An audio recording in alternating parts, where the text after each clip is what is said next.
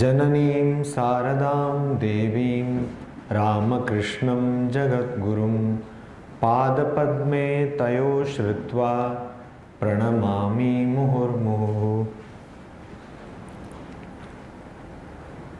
evening.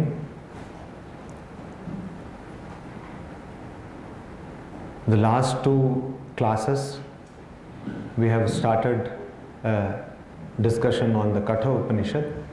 Prior to getting into the Upanishad proper, we were discussing in the first session about death in general, how it has been portrayed by various people in Indian scriptures and their commentaries. Last week, we saw various definitions of the word Veda. As many of you, I am sure, would remember, Veda, the word Veda, was derived from a root vid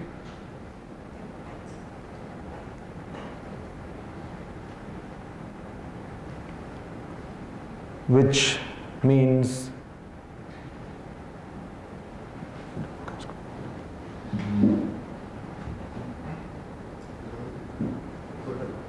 Huh?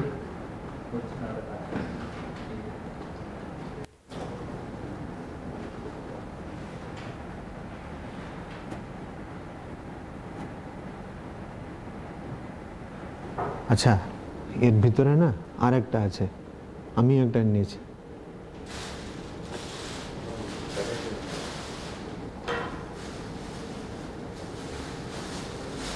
ওইটা লাগিয়ে দিন এটা তুলে ওইটা লাগিয়ে দিন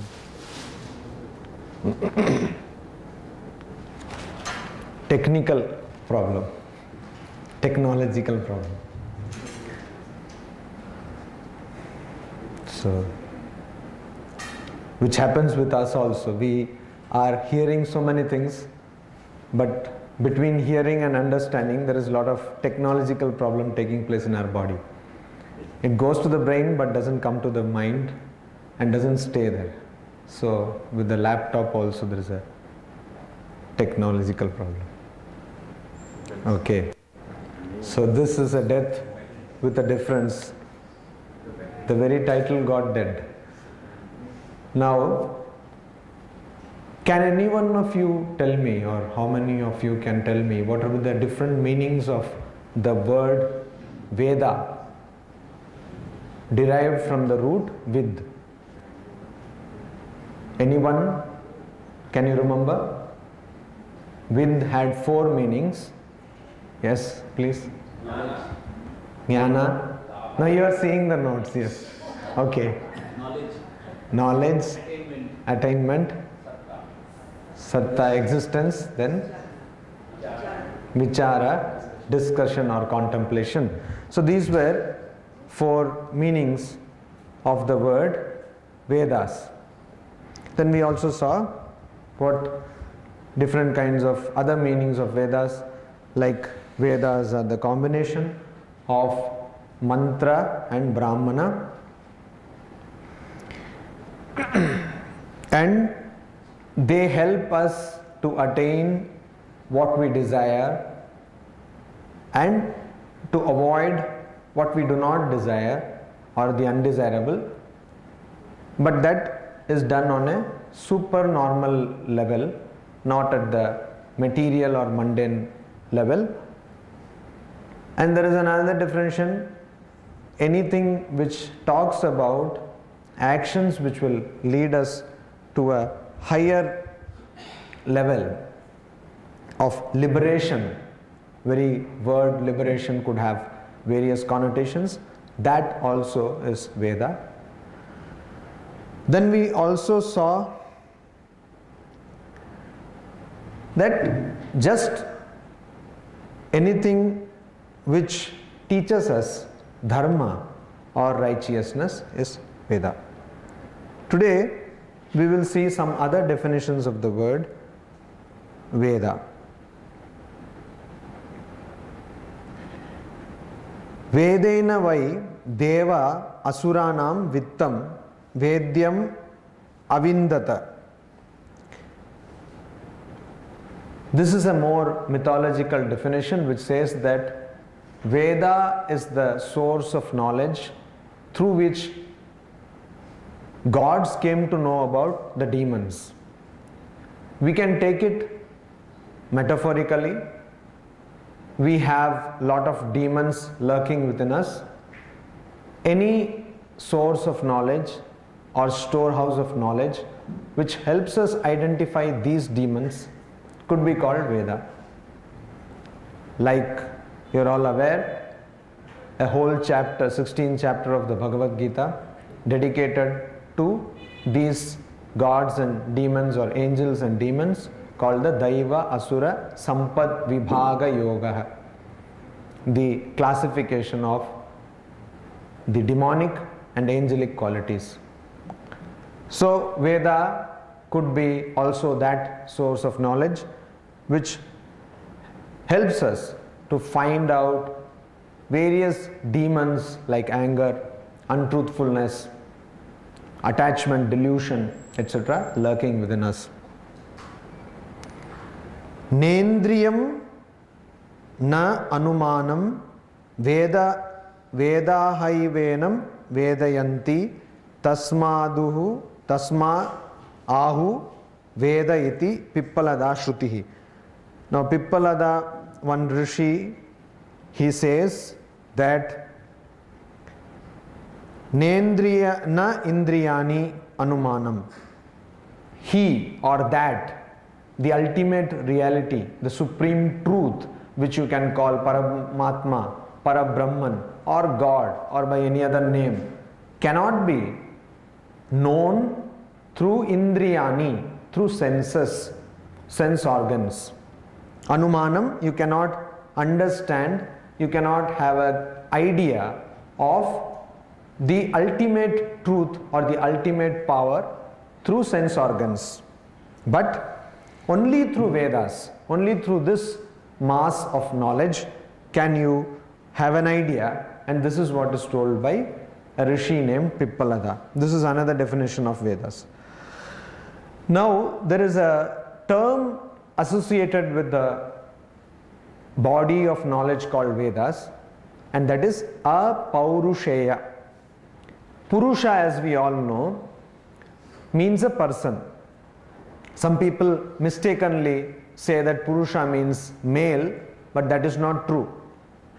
Sanskrit has got the peculiar or special feature of having various meanings for the same word, and that is why we need the commentaries of people who understood clearly the import of the scriptures, who were trained in that particular school of thought.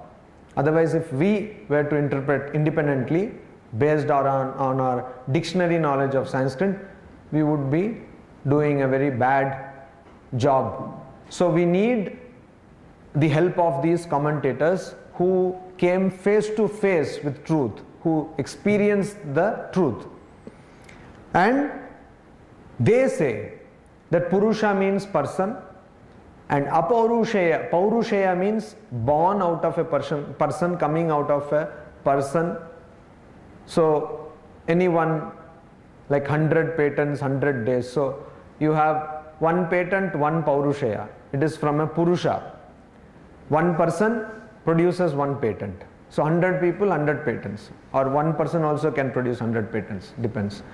So you have Paurushaya. So this patent is coming from a Purusha and that is why it is called Paurushaya.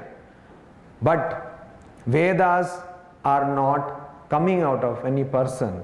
They are not the product of a person. They are not the creation of a particular person. So they are called a Paurushaya. Suffixes and prefixes in Sanskrit language can be very interesting. A can be used in various senses. This prefix a can be put in various senses. It can be put in the sense of negation Bhava, abhava means there, where there is an absence of bhava. Where there is an absence of positive entity is called abhava. Similarly, paurushaya, apaurushaya means which is not paurushaya. A can also be used in the sense of small, smallness. Something big, something small. Similarly, there are various meanings in which this prefix a can be used. I'm just telling you this to give an idea of the profundity of this uh, language, Sanskrit. So, apaurushaya means Vedas were not written by any one person. It is not that a person started speaking Vedas. It is not that somebody suddenly took the pen and paper or in today's context laptop and opened Microsoft Word and started typing Vedas. It didn't happen that way. So, how did this mass of knowledge come? This mass of knowledge was always there. How do we understand that? It is something like gravitational force, which was always there. Even before it was invented or discovered, it was always there. So, it was only when the apple fell on this person's head that his head got properly shook up and then he understood that yes gravitational force is there. So sometimes we need blows on our head.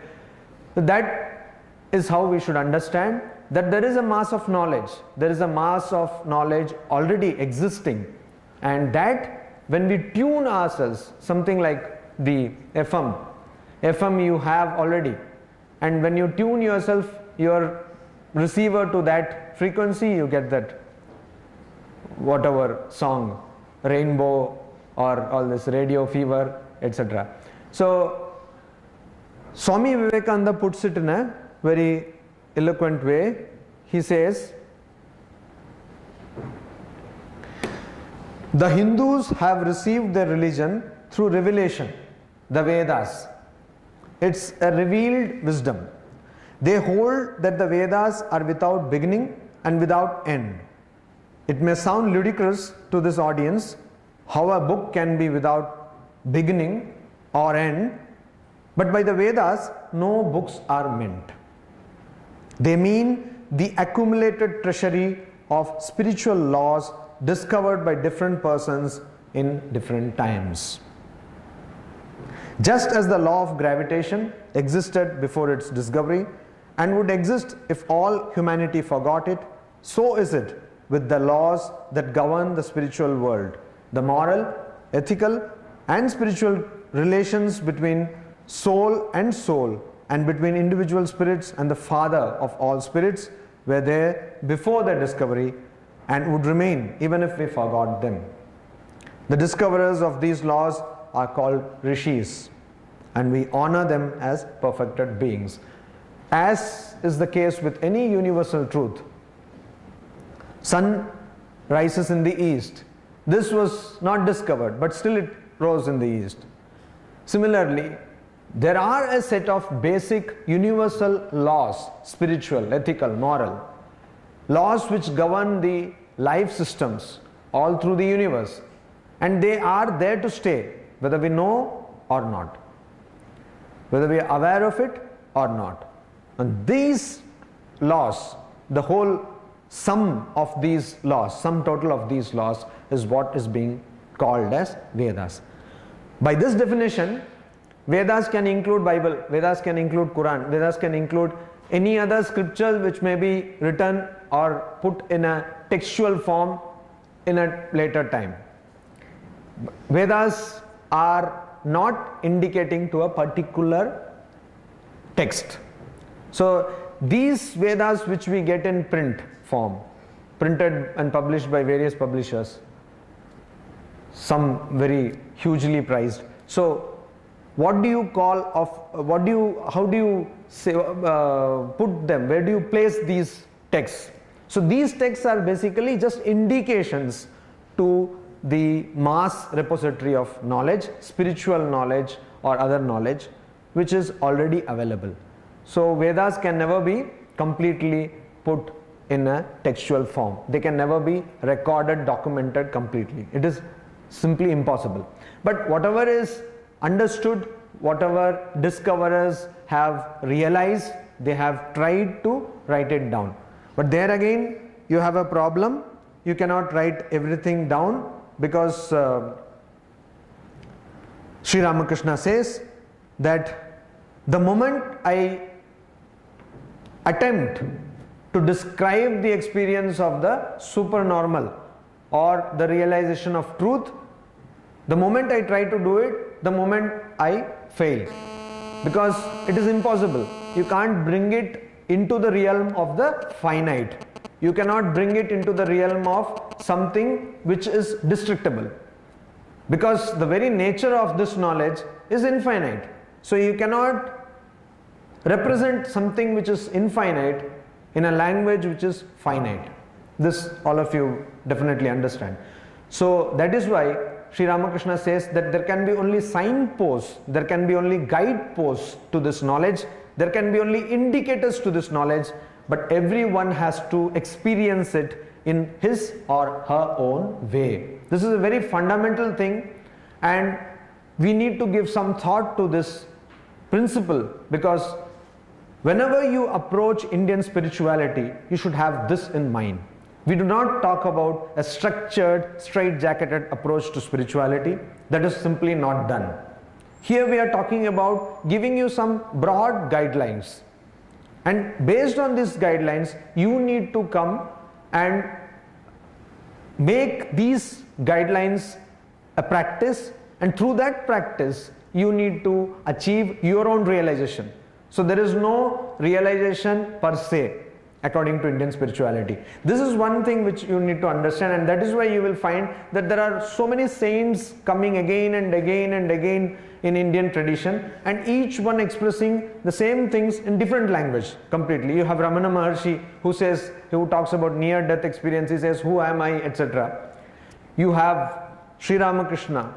Of course, Sri Ramakrishna, in a way, brought all these different streams together then you have, say, Nisargadatta Maharaj, who tells it in a different way. You have various kinds of people. Some people take the course of yoga, some people take the course of intellectual cogitation. You have various kinds of people coming in, and they will come again and again because what they are doing, they are trying to access the same treasury of knowledge and trying to experience it themselves. It is like watching a movie four of your friends you friends go to a movie and each one of you is enjoying a different aspect of that movie. So you watch say three idiots. So it may turn out that four of you out of four maybe three idiots are there in their group itself. So you go and watch that. So immediately you try to identify yourself with one character in that movie.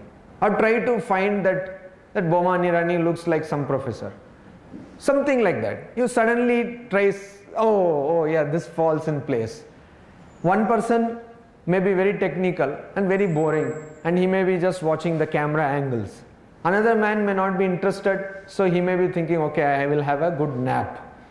So all these people going to the same place, to the same environment, to the same source of knowledge, but they acquire it in their own way. And that is what happens with spirituality. It is not that you have to. Swami Vivekananda said the spirituality religion is not a mass drilling exercise. He was referring to some Semitic religions where you sit, all sit together, then all pray together, and all think together. It doesn't happen that way. Why? Because when you go to a restaurant, a family of four going to a restaurant, and each one orders different thing or at least wants to eat different thing. Maybe the father may not allow that, but everyone wants to order. Some the child may want pizza, another fellow may want something else. So when it is the question of a gross thing like food, you have such a wide range of choices so just imagine what would be the case when it's a question of something as subtle as spirituality. So we need to always give scope for that and that is only rational, logical and that is what Vedas do. So Vedas let us understand and let us remember that no books are meant by the word Vedas. What it means is only a treasure house of spiritual knowledge, and there are four meanings of attainment, of knowledge, of existence, and of discussion or cogitation. All of these are contained in the treasure which is called Vedas. Now, we often come across this word rishi. Who is a rishi? Rishi is a mantra drashta, a person who sees mantra, to whom mantra is revealed. Now, whenever you study any subject, under the tradition in which that subject was created in a school of thought, you get to know certain niceties which you may not know if you study it through a manual or a textbook. For instance, cooking. So everyone can now go to Google, Google some recipe and cook. It's quite possible. But the niceties of having some magic formula or magic ingredient will not be available in Google or YouTube. For that, you have to go to your granny. And that is that magic ingredient which makes all the difference. So, in our ashrama today, they made this what is called this some uh, there are a lot of varieties of green leaf vegetable and some shark they made so now this shark was being made, I, I gave him a magic ingredient. He just put this. And the whole taste of the shark changed. I will not tell it openly, okay? So anyone who wants to know can come afterwards. So that it changes the whole taste. So magic ingredient. We need to know. Similarly, you see, we find lot of scholars approaching Indian tradition from the outside from the outside. They are trying to study. It's a wonderful thing. But they do great errors. For example, Max Muller, he did this wonderful job of getting old manuscripts and publishing what is now very famously known as sacred books of the east. But for that exercise i don't want to go to the historical ramifications of that project. But for the exercise, many people may not have simply known about these scriptural scriptures and these treasures which were limited to particular places in not only in India but in Asia. So that was put in the open. But there are many texts in that. For example, the Patanjali Yoga Sutras, which have been translated, and very wrong translations have been given. How do you know that? You compare that translation with some decent translation by the Hariharananda Aranya or Ganganath Jha, people who have been schooled within the Indian tradition. Then immediately you see that the definitions or the translations are wrong. Why? Because the scholars who did that were mostly German Orientalists who were not aware of the nice subtle ramifications, the niceties of these Sanskrit words. Why am, I, why am I giving you such a big foreword? Because of the word mantra.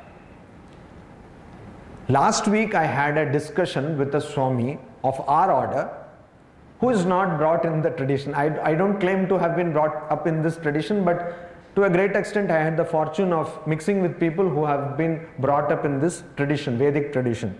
So I told him that shloka is different from mantra. How?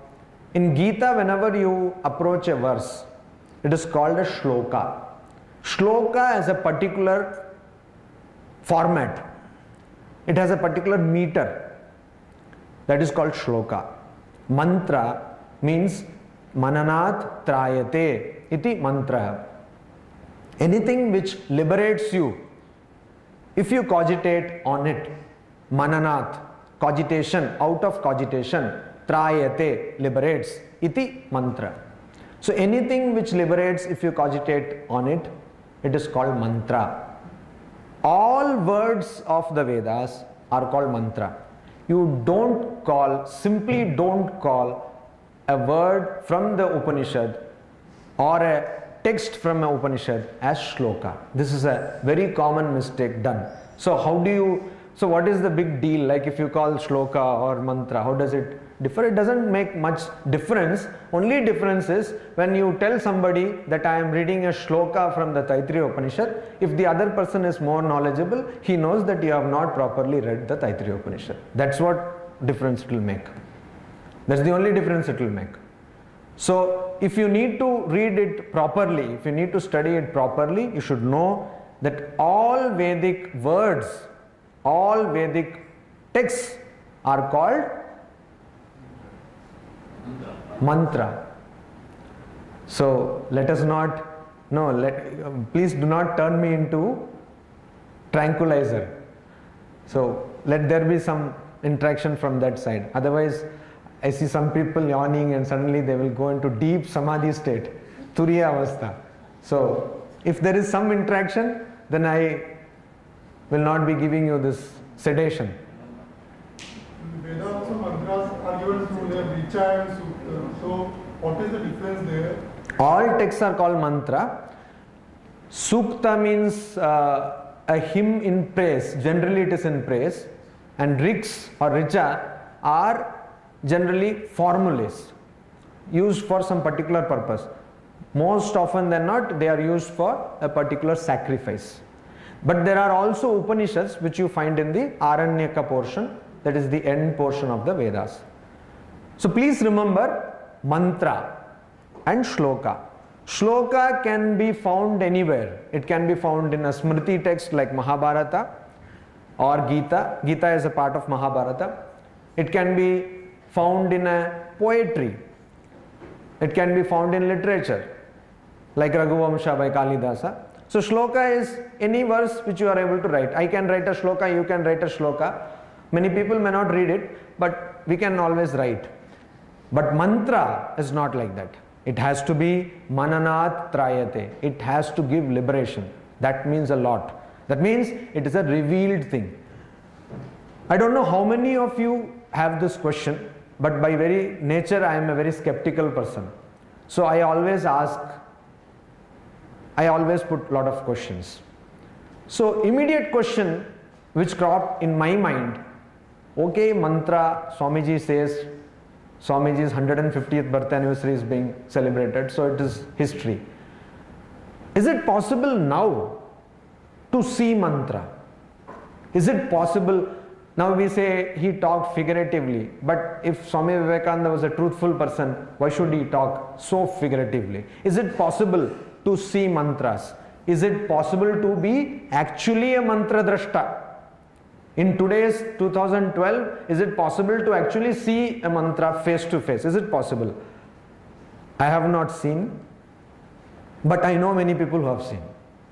I have come across at least three people who have seen, and a person who was very famous who has written in his autobiographical accounts how he saw the mantra. Who was this person? Suryakant Tripathi Nirala. How many of you are aware of this person? Yeah. He was a great Hindi literate here, great writer. And he came into contact. He was in Kolkata for many years in the beginning, initial years he came in touch with Swami Saradananda, who was the disciple of Sri Ramakrishna. And he gave initiation, spiritual initiation, that is, he gave a spiritual formula or a mantra to him through a process which is called Shambhavi Diksha. When somebody gives initiation, somebody initiates you into spiritual life, a guru, it is called Diksha and shiksha which is given that is how it comes siksha plus dana diksha so diksha and that was given in a very unique process which is called shambhavi diksha and this shambhavi diksha was what Sri Ramakrishna tried to give Swami Vivekananda, the second time Swami Vivekananda met Sri Ramakrishna, he touched his chest and all the universe was disappearing. Then Narendranath Datta got afraid. So you see, we are much better. Even Narendranath Datta got afraid, so we have a lot of excuse. So he got afraid. He said, Oh, what are you doing? I have got my parents at my home. So he stopped. So that Shambhavi Diksha is the process of giving spiritual initiation by touching a particular part of the body of the disciple. This is Shambhavi Diksha. It is given in various ways. Saradanandaji Maharaj gave the Suryakant Tripathi. Nirala is only a title. Nirala means unique. So in Hindi, so Nirala is a title uh, given to him, honorific title. So his name was Suryakant Tripathi. So Suryakant Tripathi was given Diksha, the mantra was written on his neck and he forgot the mantra. He did not remember it, he forgot it. Many years afterwards, when he was meditating, suddenly he saw in golden letters, fiery golden letters, this mantra in front of him. And that is that happened somewhere in 30s or so. So this is very much possible. And he writes about that in his complete works. There is a section where he talks about his meetings with all these disciples of Sri Ramakrishna. He writes. Huh? 1930s. So uh, that he talks about. And he was the editor of a Hindi magazine called Samanvaya, which was brought out by Advaita Ashrama for seven years from Kolkata and it was stopped. So what I want to say is it is very much possible. I know three people who got various mantras, two from our order, Ramakrishna order, one from outside, and suddenly one day they saw these mantras just like that. And all three are alive and all three are below 40 years of age. So it is very much possible to get this kind of a vision. So revealed mantras, they are revealed. So mantra drashta, drashta means a person, drishya, the root is drish means a scene. So dr actually, seeing, drashta means a person who has seen. Drip drishya viveka was it taught here sometime? Yes. Who, who taught it? Swami uh, Sarvabhyani. Sarvapyaj. The whole text was taught. I was only there for one month. Just some. Some. So Drik Drishya Viveka. So Drik is the scene, what is seen. And Drishya, uh, Drik, Drishya. Yes, Drik means the seer and Drishya means the scene. Drik Drishya Viveka. So the discernment or the um, cogitation about what is seen and who is the seer, it is the text. Now we go to various other definitions which we will always need. Not only if you are studying Kathopanishad, but if you are studying any other traditional scripture, you will need these definitions. What is Shruti? It comes from the root Shru, which means anything which is heard, auditory. I don't know how many of you are aware of the derivation of the word auditor. You might be aware of the word auditor. The person now we have the problem with this Vinay. Now he has done auditor and found out this Coalgate scandal. So, so Coalgate scandal. Now auditor means a person who hears. Auditor means a person who hears. How does this uh, profession get that name? Because earlier on, in the beginning of this profession, people used to, there were no financial statements. They used to just tell. They used to go and check, and people used to, it was like interrogation to some extent. They will say, and these people will hear, and then they will make out whether things are properly being done or not. Later on, we have all these financial statement, balance sheet, and all that. So, auditor. So, auditor, auditory means which is audition. You have many words. So, which is heard. Shruti, Shru, Shravana, Shruti, like that. So, Shruti means anything which is heard. Basically, all the parts of Vedas which we receive today were passed on from one generation to the other through oral tradition. We did not have pen drives and flash drives and no expanded drives, all this. We did not have that those days. So it was all passed through how? Orally. So just imagine the phenomenal memory people had got. And that was the reason why they all condensed them into what we call sutras. Last time I think I told you about sutras. Is it not? Anybody remembers the definition of sutra? Aphorism. No, what is the definition? Hmm. Okay. Good for me. No, if you don't remember, good for me. Then you will not ask questions also. we'll come to that. Shastra means, again, you, word, you get this word Shastra from the root Shas, which means to discipline or command or teaching. In Bengali also you have that Shasan Kora or Shashan, that is also one word, which means administration or governance. It comes from the same root, Shas, which means to control, teach, or command. Then you have, then there is another definition of the word Shastra, Agnyata Nyapaka Apravritta Pravartaka. The child does not take milk. So the mother, many mothers are sitting here, so mother will say, take the milk. Otherwise what? You will not get food also. So okay, buy one, get one free. So take the milk. So you have this command and otherwise one slap. Nowadays it has become illegal to slap. So slap and that is creating more confusion. People don't understand. So Gyapaka Apravritta Pravartaka. Apravritta. Pravritti means action. Apravritta. Those who don't want to act. Pravartaka. It makes you act. So the child is not taking milk. The mother forces the child to take milk. So as far as the milk and child is concerned, mother is Shastra. She does the function, performs the function of disciplining the child to take the milk. But instead of milk, if it was a KFC bucket, no Shastra was necessary. Or pizza, Domino's pizza. Immediately the child would pounce upon that pizza. So, Ajnata Gyapaka. And anything which is not known is told. So, Google is by far the biggest Shastra. Ajnata Gyapaka. It tells you what you don't know. Sometimes it tells you what you don't want to know also. अज्ञात ज्ञापक so what is शास्त्र अज्ञात ज्ञापक अप्रवृत्त प्रवृत्त प्रवृत्तक।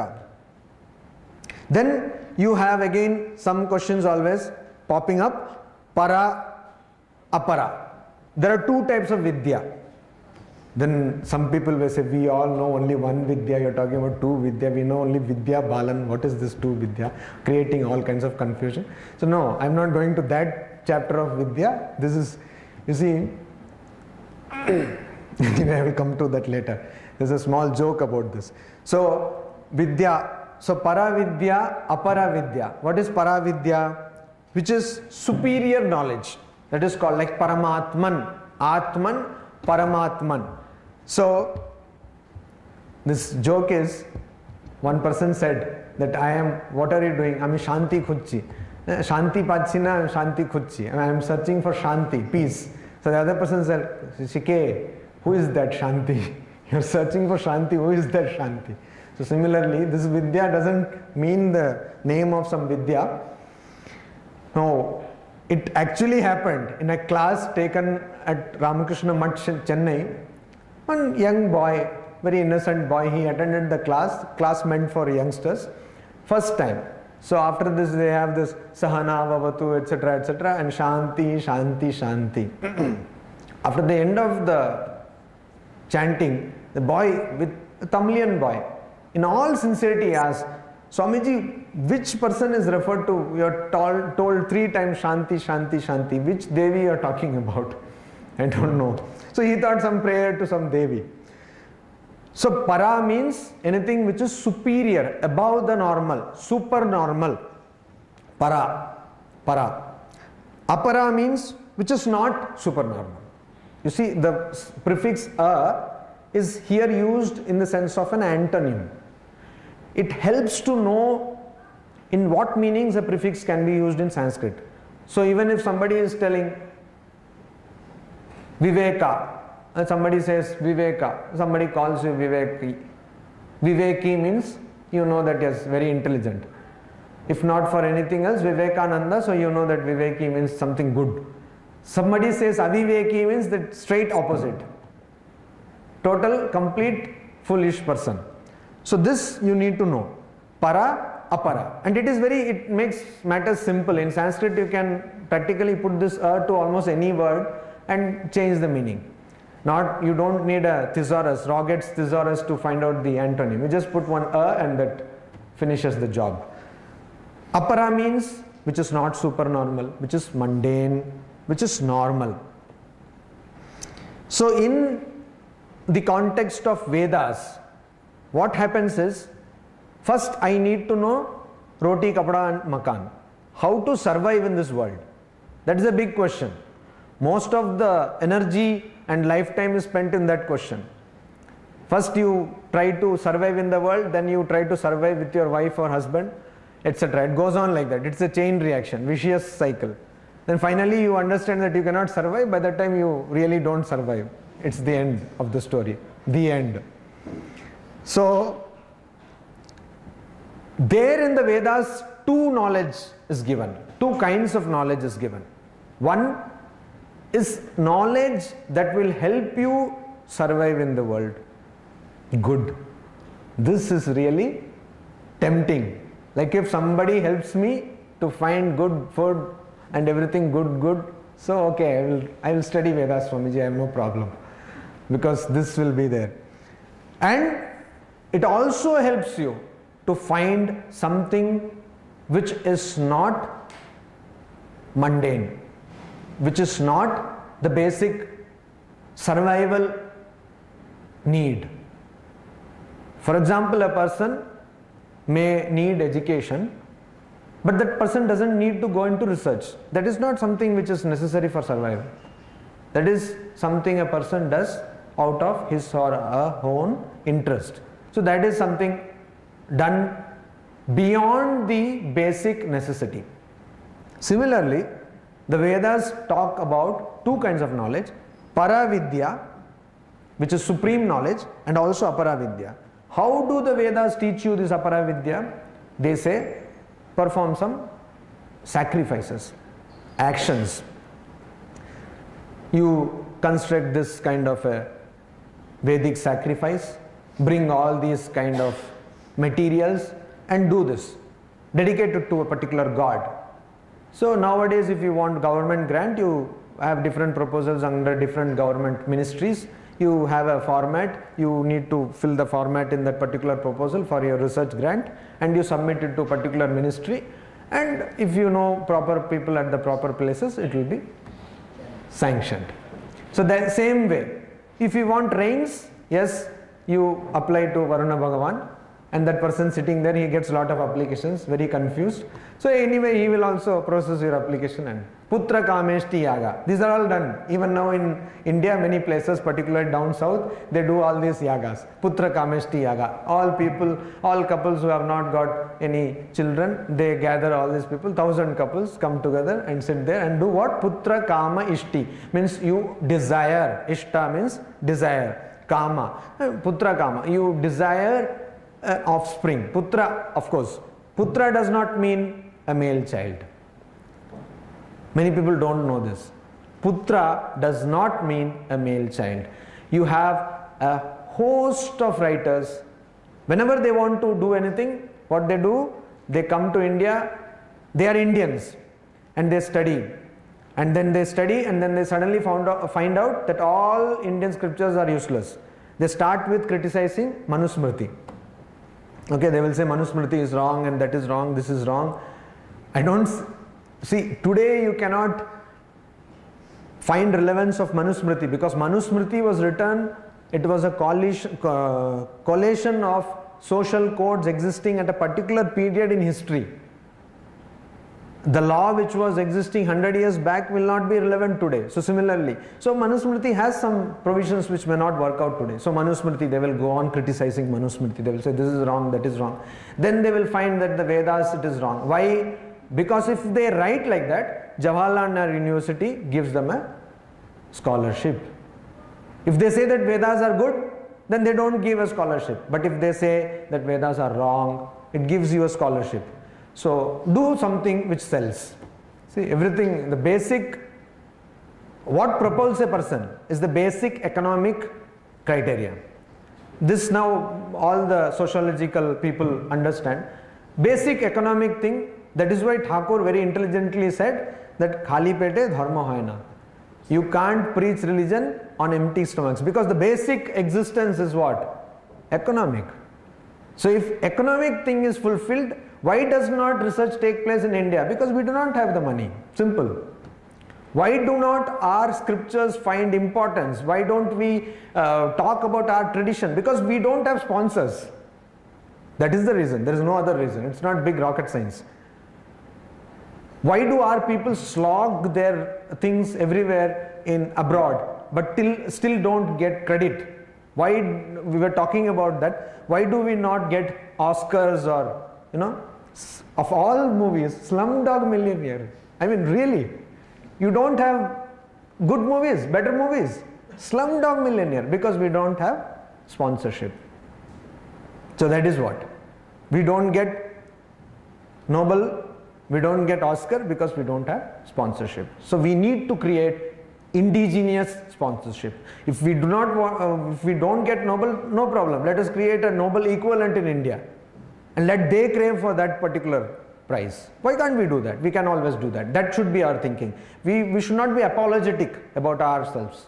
So that many people will do and they will say that putra is there everywhere now, these people are, does not understand they do not understand about putra so we commissioned a series of articles in Prabuddha Bharata, significance of the term putra in Vedic literature. And it was done phenomenally well by one young woman who is a researcher in history and uh, it went on for four issues, uh, very well written. We can also publish it later on as part of a big book. So putra means a child. It just means an offspring. It does not mean a male child or a female child. It can be used to mean a male child. When there is the female equivalent as putri, it can be used. But please remember, Vedic Sanskrit is totally different than Vyavaharika Samskrita or practical Sanskrit. Like Shakespearean English is Victorian era English is different from today's English. Similarly, there also. Now, so what I was talking about is Putra Kameshti Yaga. You need uh, offspring do this particular. That is what is. That is how Vedas guide you to attain mundane things. Vedas also guide you to attain superior knowledge. How? Avritta chakshuhu amritatvam icchan.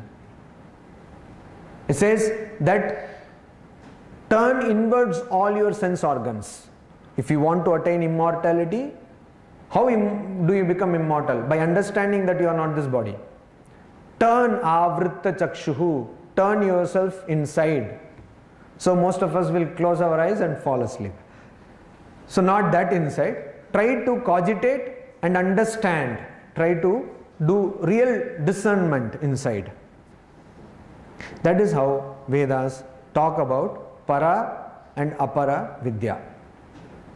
Then you have classification of Vedas. There are different kinds of classification of Vedas, but we need to always remember that Vedas are no books. So classification is they are also only indicators, just an idea you will get. What are the various types of classification based on the content?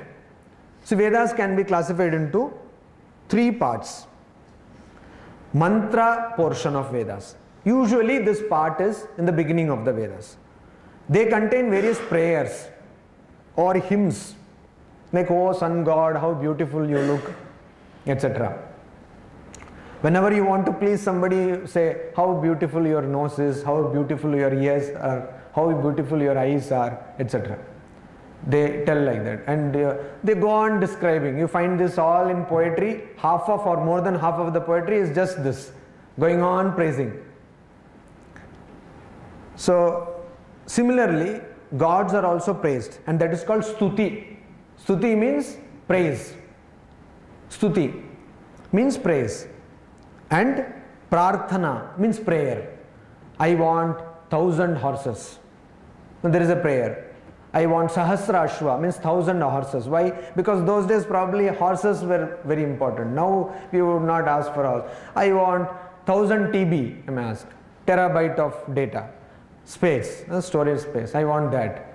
Or something like that. I want maybe 10 GB PS uh, internet speed. Something like that we would ask today. But that, those days they ask, I want You are saying that mantra is like manana trayate. So how this prarthana can be give me thousand verses? Now we can try. No. Prarthana, no, prarthana, no, this is a fact. Prarthana, prayer, uh, is known to give uh, something. You always pray. No, then mantra, you said the definition of mantra is manana trayate. Yes. So uh, manana trayate means is it can it is give me thousand? No. There's a, this is a very good question. Mananat Trayate, there are various processes, uh, levels. There is the beautiful incident, how it has been told in the Vedas itself, in Upanishads. Brahma gave this message of the nature of oneself, nature of self, to Indra and Virochana. So he said, they asked, What is our nature? Then he said, Go to the pond and see your reflection. So Indra went and saw the reflection. Virochana also saw the reflection. Virochana said, Oh, reflection means I am the body, so I am the body. He understood and he kept quiet. But Indra also saw, Oh, this, this is my true self, so I am the body. But Indra started discriminating. He said, How can I be the body? I cannot be the body because body dies so I am something which is not permanent. Then he again went to Brahma and asked, Who am I? Then he said, Go again and see the reflection. So he said, Okay, and went and saw the reflection. Then he thought, I am mind. So this process goes on till he understands that he is the Atman. So prarthana is there. But using prarthana, if you go on, that is why mananath, you see, it will not trayate simply like that. It will not liberate you just like that. Mananath trayate. If you cogitate on that, it will liberate. So first it is written Sahasra Ashva means you have to get hundred uh, horses. Then you will think, what kind of prayer is this? What am I going to do with thousand horses? Then you cogitate. Then you understand, no, it is not about thousand horses. This thousand horses is some kind of a allegory, some kind of indication. Then you go further. Are you getting my point? Th- these all mantras are made for that purpose. Because in Upanishad also, in Kathopanishad we will see uh, the uh, father is conducting some uh, sacrifices, then the sacrifice gift should be given to brahmanas and he is giving all useless things. What is the idea of reading these things? By that definition, even this Jagdatrina, Dugda Doha, Nirindriya, these words are also mantras. Is it not? Because any word of any Veda is mantra. So how can this be mantra? Useless cow. How can it be a mantra? So mananath. So you have to cogitate on that. You have to think, again think, again think. In fact, even the scheme of Vedas are made like that. First there are prarthana, then brahmanas which deal with sacrifices, rituals, then finally aranyakas, and in the end of the aranyakas you have Upanishads. So if you go on cogitating, thinking, thinking, thinking, finally you get the supreme wisdom. But if some of us are like Virochanas, in the beginning itself we'll think, oh wonderful, I got thousand horses and keep quiet. Are you satisfied? So this is prarthana or stuti. Then you have Samhita. Samhita means a prayer or a verse is called Samhita. Verse means again it will not be translated as shloka but mantra, samhita. Then Brahmana. Brahmana deals with rites or rituals. Brahmana. They deal with rituals. There is a interesting definition. They say that which is not a mantra is a Brahmana.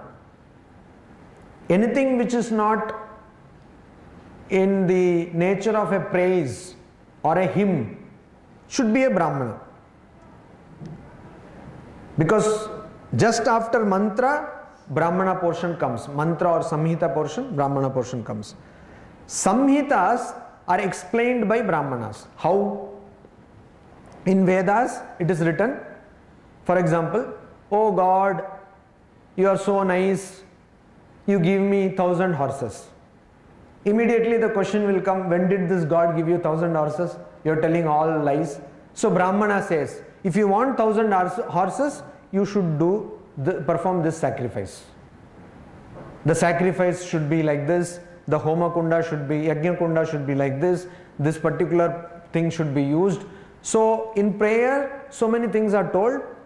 The practical explanation of these things are there found in the in the Brahmanas. So you have all these explanations in the Brahmanas. First Samhitas, then Brahmanas. Then you have Aranyakas. So Brahmana the word comes probably because anything which is performed by Brahmana, the priest. So it is called Brahmana. Samhita or mantra, Samhita means prayer. So anything which contains prayer, that portion is called Samhita. Aranya means forest. Aranya in Sanskrit means forest. Aranyaka means that which belongs to forest. So Aranyaka is a portion of Vedas which talks about knowledge. It talks about deep slumber. It talks about what? Please all wake up. all of you. It talks about knowledge. So Aranyakas are between Brahmanas and Upanishads. Upanishads are the final part of Aranyakas. The last portion of Aranyakas are called Upanishads. Is it becoming very boring? So let us have some audition from the other side also. Yeah. You have said um, all Vedic words are mantras. Yes. Now you are saying Brahmana that uh, which is not a mantra. The Brahmana also is part of. Uh, No, no, no. no. What is uh, the, this mantra doesn't mean that meaning. Uh, anything which does not belong to mantra portion or samhita portion. Portion. We have three classifications: mantra, brahmana, aranyaka. Anything that doesn't bel- belong to portion. Brahmana is also a mantra. Ah, that way. Because it is a Yes, yes. The text is also a mantra. Correct. And then another thing is that um, Vedic word or mantras. Oh, what is the reference of all Vedic words or mantras? The statement you have mentioned, what is the reference for that? How you are saying, why you are saying this? reference. I will try to find out the reference, but this is something which uh, all scholars believe. When this has come in tradition. But, uh, but it is, um, I think it is mentioned somewhere, uh, perhaps you don't know. No, that I will try to find. I am not sure about that, but I will try to find. Because uh, many things like this are not mentioned. This is one again another problem. Indians, you see, we have a peculiar scholarship. We, we don't have the referential scholarship. Most of the things we just say and we know through tradition. There is no footnote for that or endnote for that. Many times it happens. It's something serious problem. But some people ask, Yeah, yeah, true. I will try to find out the source. Some commentary or somewhere it may be available. I will try to find out. maybe some famous personality, even a good personality have mentioned something. Good personality. You consider me bad?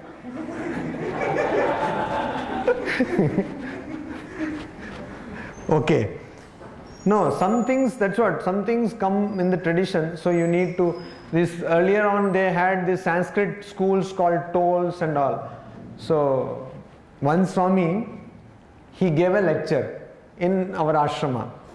And then he quoted an incident of Sri Ramakrishna which was rather strange, unfamiliar. So immediately another Swami of Advaita Ashrama asked, Maharaj, where from did you get this? Can you give the reference? So the question was genuine. So the Swami got very pissed off. He said, Tomadre ohi actor, optional reference. You always want reference, reference. Now that is true. Nowadays you need to, uh, otherwise academically it doesn't make sense. Okay. So Upanishads are the final, usually the final part of the Vedas. Aranyakas of course Vedas. Please also give some vocal support. Okay. Have, are you aware of the term vocal support huh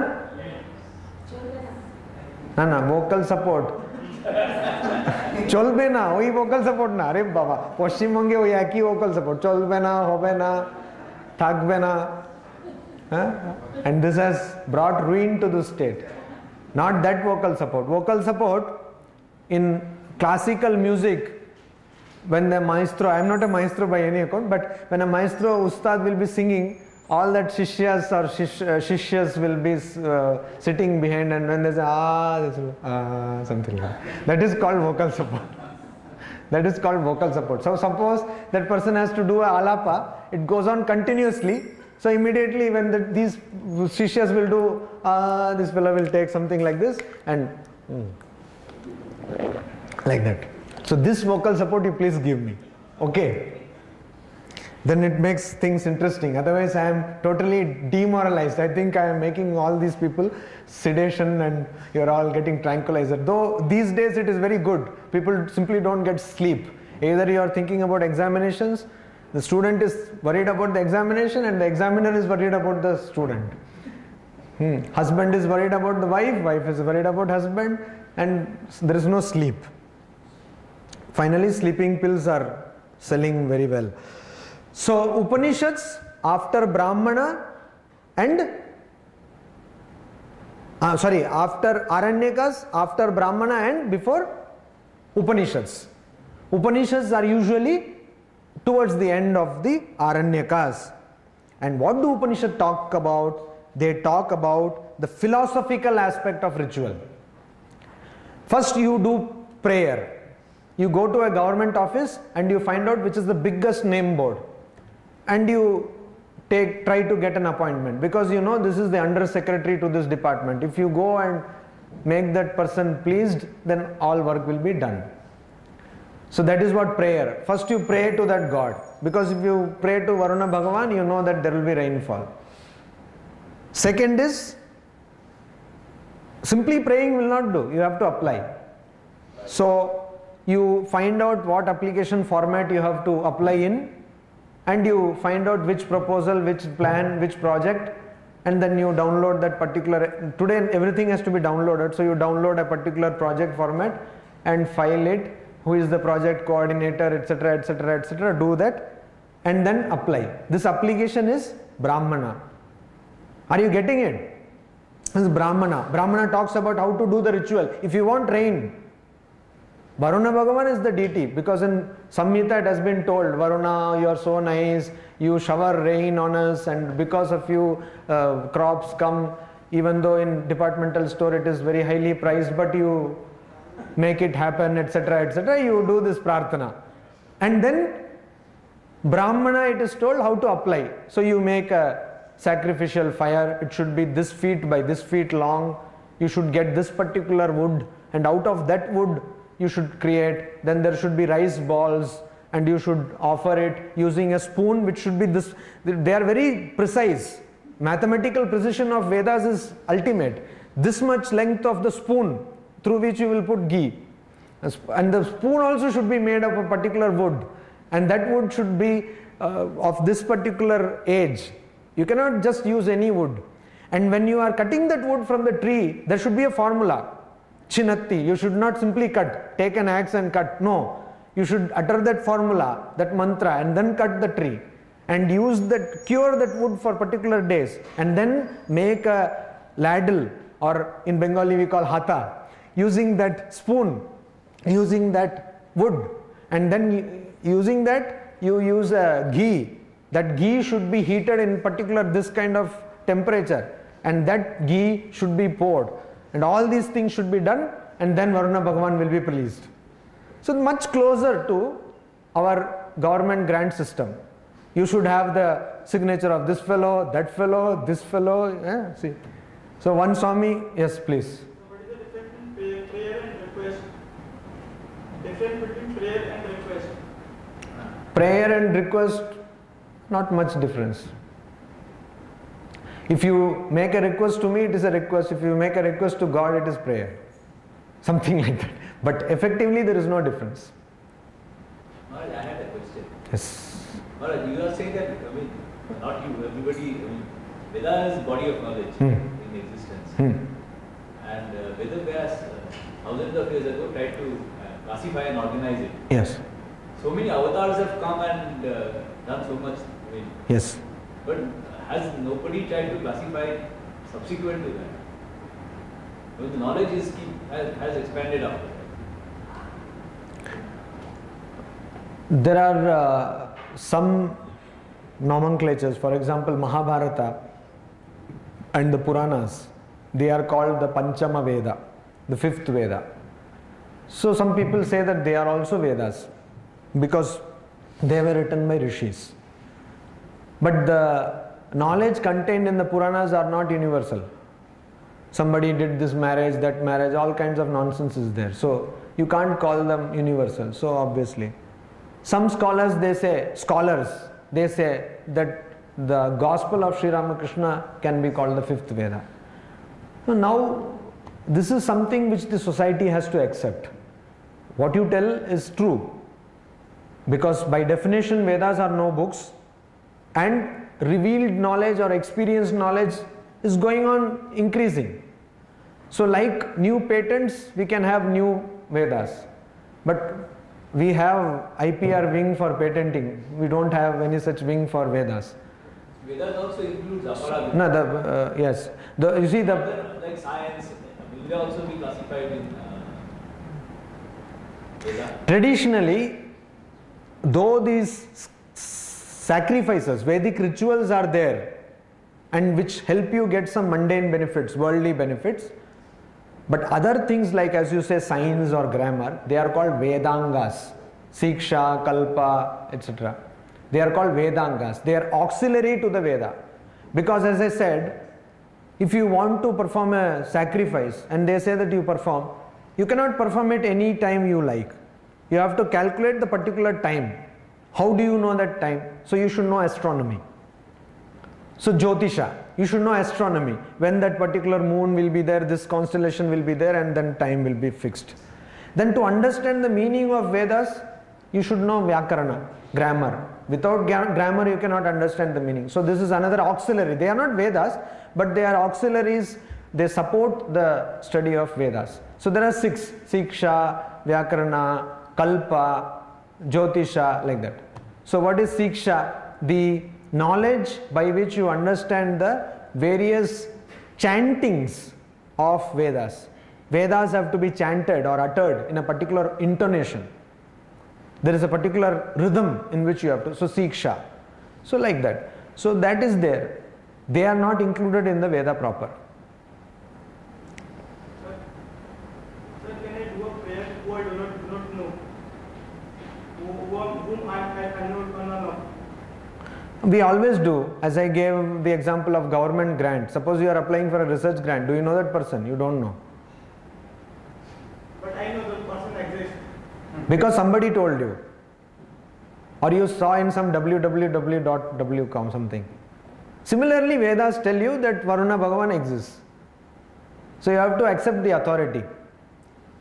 Later on, we will see there are six means of knowledge in Indian philosophy, six methods of knowledge. Pratyaksha, that is direct sense perception. You see, so you know. Anumana, by inference. Then there are various there one knowledge is shabda shabda means authority verbal testimony your professor says that don't do this experiment this way because it will not happen. So immediately accept, yes, because he knows, you know that the professor knows. Is it not? Similarly, Vedas are accepted as a verbal testimony, verbal evidence. So when I am applying to a particular, uh, for a particular grant, my professor comes and tells that please be careful with that person while you talk because that fellow is a cranky fellow. If you talk like this, he will not give you the grant.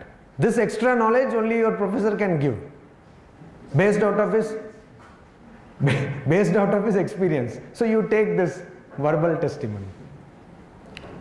Is it clear? Now, Upanishads. So we come to Upanishads. They are they talk about the philosophical aspect. So yeah, I was telling how you apply. You apply for the grant that is talked about in the Brahmana portion. Then when you get the grant and when you get the money, what do you do? You do the research. So to do the research, you know, you should have knowledge. So that knowledge is talked about in Aranyaka, the philosophy part of it. So you got the grant and everything, but you are not submitting your final uh, this thing, and the final grant will not be granted unless you submit it. So how do you know that? For that you have to study a lot of things, lot of papers, etc. And then finally you can submit. So that is what is contained in Upanishads or in Aranyakas. Vedas can also be classified in the in another way based on the content. Hmm. Do the Upanishads refer to the gods who, have been described earlier? Yeah, some Upanishads refer. Is it, I mean, is it necessary to go in that sequence or can one just read the. No, not necessary. Not necessary. In fact, Indian tradition never, it has got a very systematic sequence system, but you don't need to always follow system. For example, four ashramas. What are the four ashramas? Brahmacharya. Only, you see, only oldies are talking. So young people are not getting any credit. So Brahmacharya, hmm, and that is one ashrama. Then Garhastha, and it is actually called Garhastha. Grihastha is the person, Garhastha is the stage or the ashrama. Four stages of life. Vanaprastha. Vanaprastha is the forest life. Then Sannyasa. Now you see auditory support. Please maintain this vocal support. So, Sannyasa. This is given.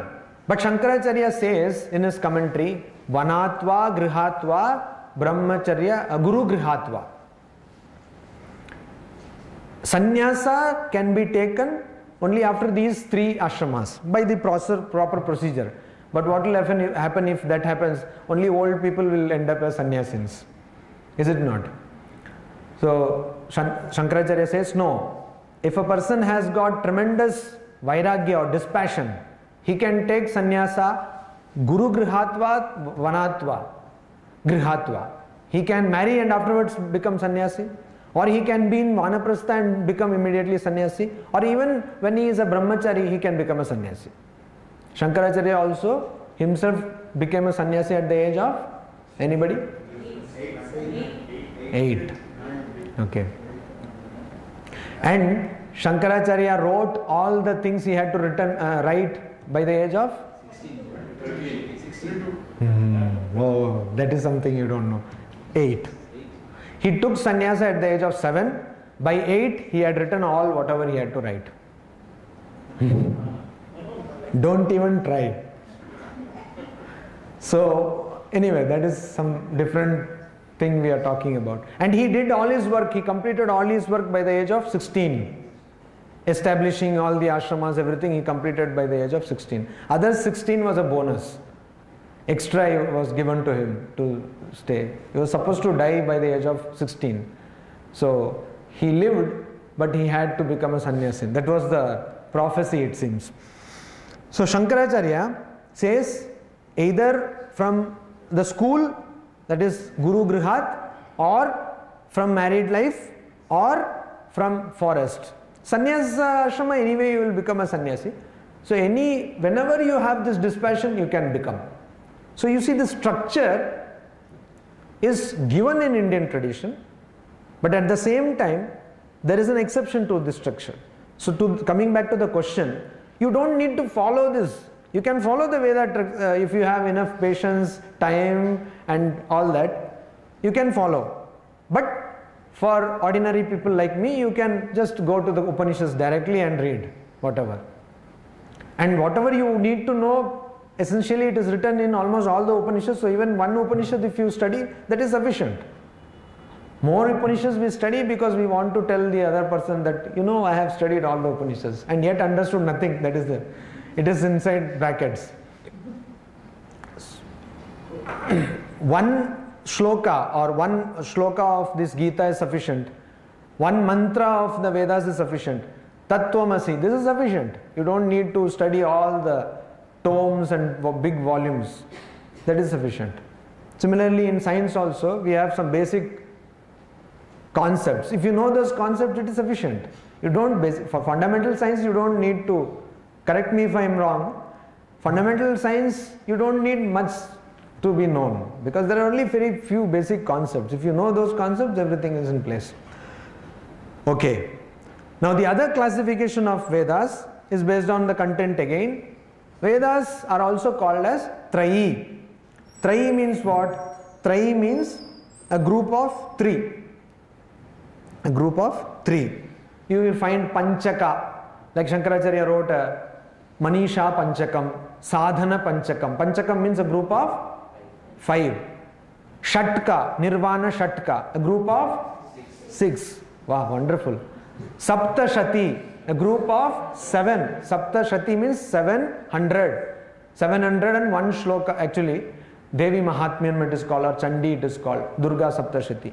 So similarly, here we have Trayi means three. How is that? You told that there were four Vedas, suddenly now you are telling that there is a group of three. This classification is not based on the names of the Vedas, but it is based on the type of the text in the Vedas. What is that? Gadya, Padya, Gita. Or Stuti, पद्य पद्य, स्तुति, गद्य and Gita. और रिक, यजुष, सामा। There are three kind of text in the Vedas one is a formula which is called रिक और it is also called गद्य means prose prose और रिक This is one. Huh? No, no, no. no uh, the, sorry, Rik is not prose. It is a hymn, hymn, uh, poetry. Poetry, Gadya, uh, Padya. Rik, sorry for the mistake. Rik or Padya or poetry or hymn, which you find in the Samhita portion. That is one kind of text found in the Vedas. The other kind of text found in the Vedas is prose, like Brihadaranyaka Upanishad, full of prose. So, prose. It is called Gadya, prose, textual portion. And the third kind of text found in the Vedas is Gana, song. Song. So that is in Samaveda. Now, essentially, Rig Veda contains more of this formula or hymn. Hymn, not formula, hymn, poetry. Yajurveda contains more of formula. Samaveda contains more of song. They also contain other type of text, but predominantly song. And Atharva Veda contains all these. So that is why Trayi, there are only three types of text, but four Vedas. Is that clear? So that is how. Now, Vedas can also be classified as, so some people are there, some so-called scholars who wrongly say that Trayi means only Rigveda, Samaveda, Yajurveda, so Atharva is no Veda at all. That is what I was telling, that you should know these things through a tradition.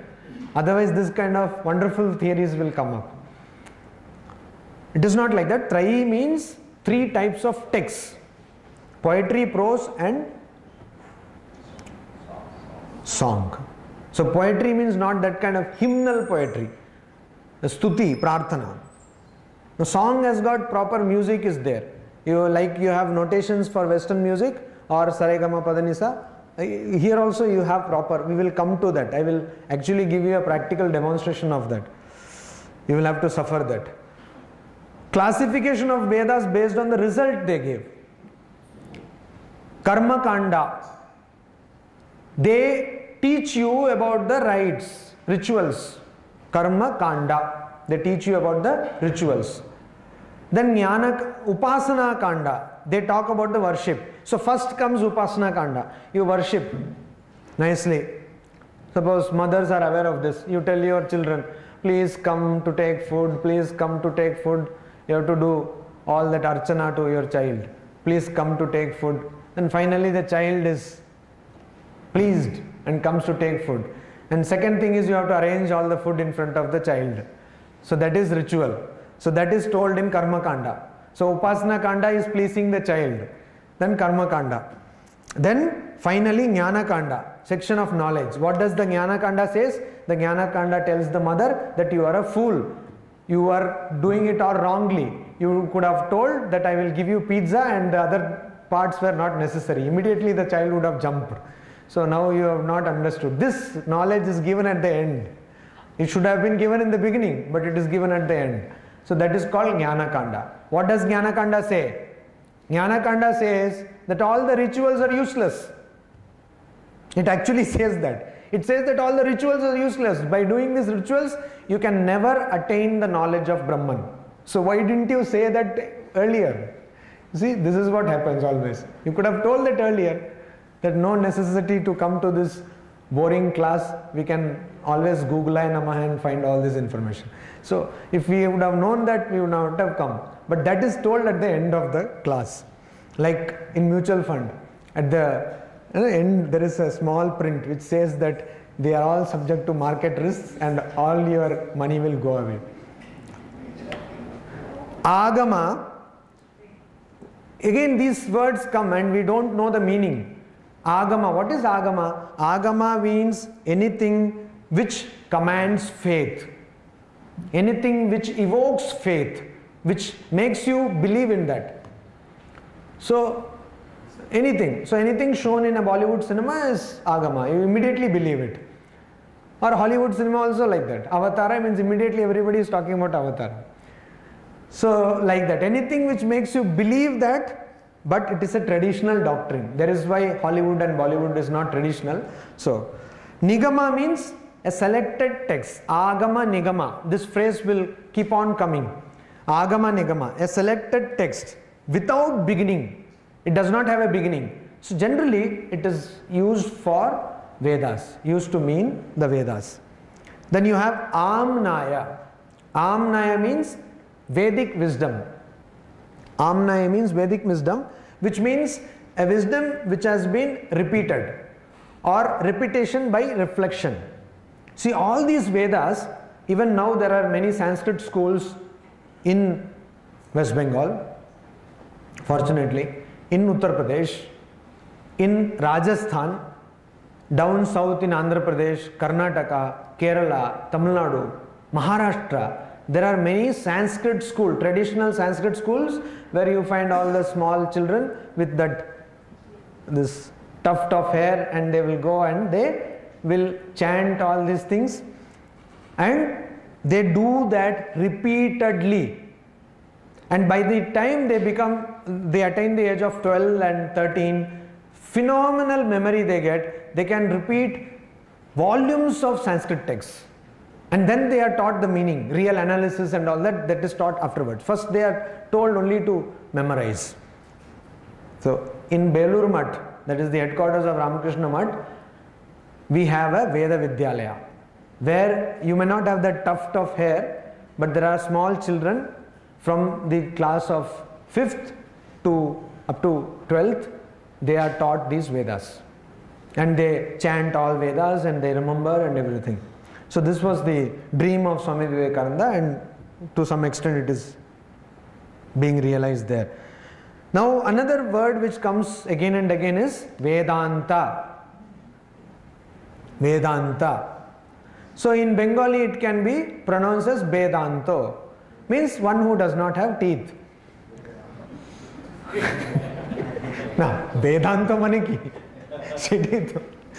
one who, Ve means without and Danto mane Danto vedanto. So basically it is true because most of the people go for Vedanta when all the teeth are fallen away. So Vedanta. and in Tamil, uh, these are two languages I found there can be some uh, what you call mimicry or parody on this word. In Tamil, if you add one n after this e, it can be vendatha. Vendatha means which is not unwanted. So it is neither unwanted nor fallen teeth or a person without teeth. Vedanta means vedasya antaha. The end of vedas. That means what? Now we can all get up and go. No. It means the culmination of vedas. The acme the final point of vedas. The super point or should i say tipping point of vedas. You are all aware of the social phenomena tipping point is not tipping point malcolm gladwell. How many of you have read that book? No one. Wow. I feel scholarly. So tipping point is a social phenomenon where it can happen to any particular system also any computer system industrial system and mechanical system. It goes to a level when the particular process cannot go in that particular direction.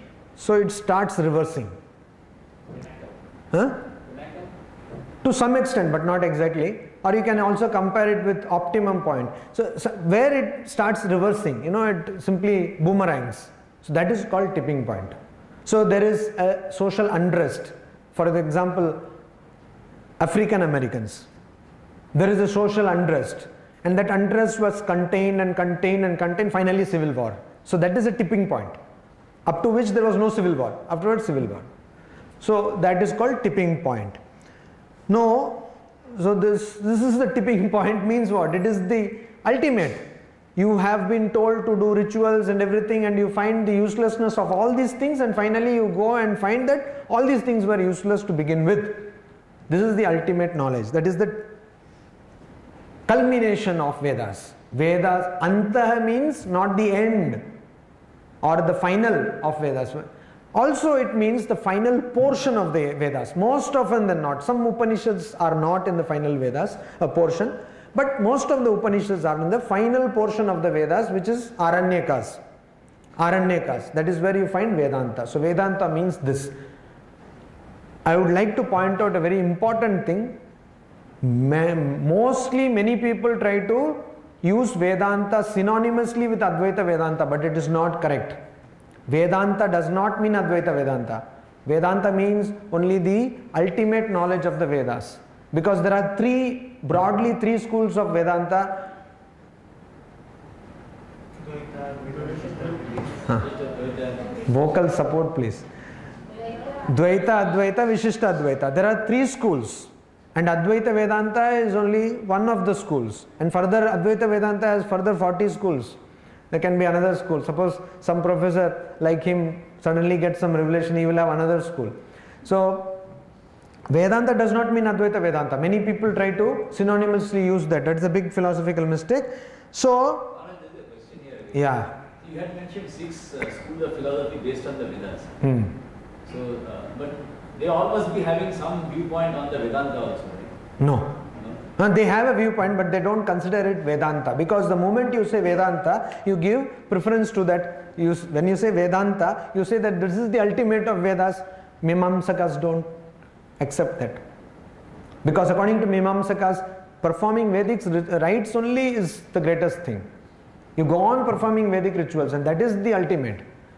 So Vedic rituals are found in Brahmanas. So they will not say, they will not uh, want Vedas to, in fact, there is a adage, there is a proverb among Mimamsakas who will says, Vedoshara Vedanta. Means Veda, Veda Ushara. Ushara means desert. Ushara means desert. They say, what is this Vedanta? It is like desert in the Vedas. Useless. Mimamsakas call Vedanta as desert in the Vedas. It is useless. By doing this, you will not find anything. So it is not useful. It is only useful because if it helps you in doing Vedic sacrifice. Similarly, with Naya- Naiyayikas, Vaisheshikas, Yoga, Sankhya, they don't consider this Aranyaka portion as important. And that is why they are not called Vedantins. So if in a debate with the Mima- Mimamsika or uh, Hmm. Finally quote something from the Vedanta, they will not accept. No, they will accept because for them all the Vedas are sacrosanct. But they will not accept that Vedanta is superior.